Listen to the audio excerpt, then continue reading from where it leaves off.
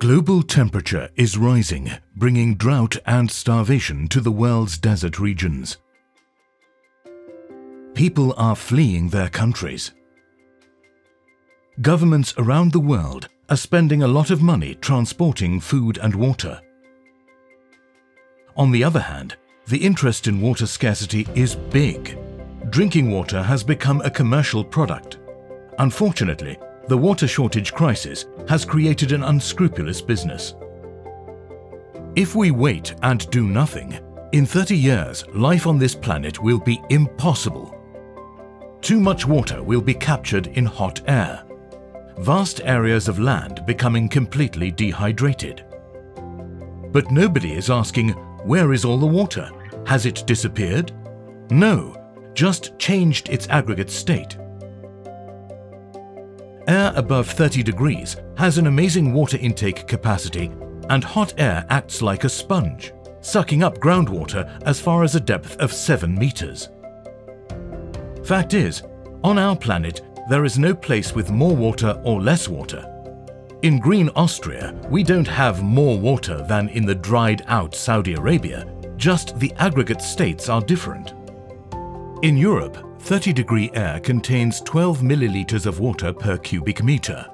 Now we could think double temperature of 60 degrees is double amount of water, but this is wrong. A 60 degree air contains 72 milliliters of water. This is six times as much.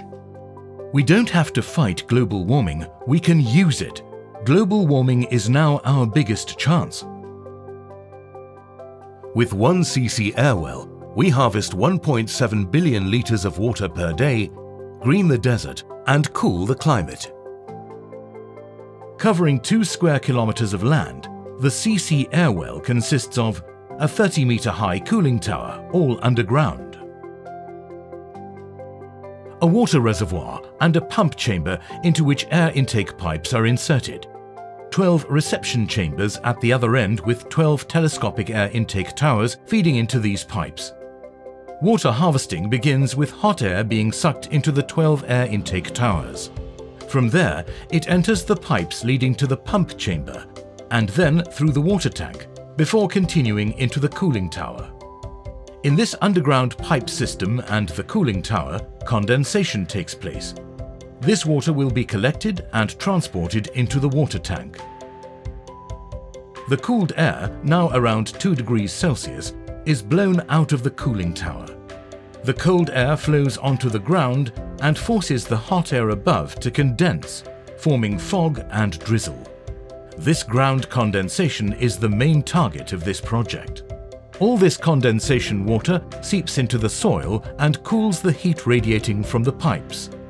100% of this seeping water is collected in the drip tray, 30 meters below ground, and converted into more drinking water. The heat from the air is transferred into the soil. This can happen on a continuous basis because the soil is recooled by cold seeping water produced by the ground condensation. At 30 meters depth, this water reaches our drainage system, and after being cleaned, it's transferred into the water reservoir.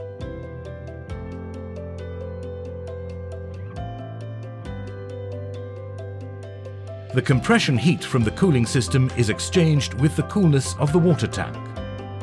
Around a CC Airwell, forests and agriculture begin to develop and communities can establish. Where there is water, there is life.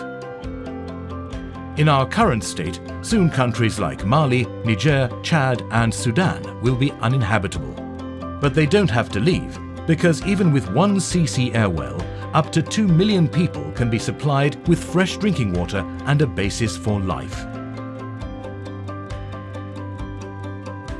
The CC Airwell isn't just about harvesting water, it's about seizing the biggest opportunity of our time, using global warming to repair our planet and rescue humans and animals.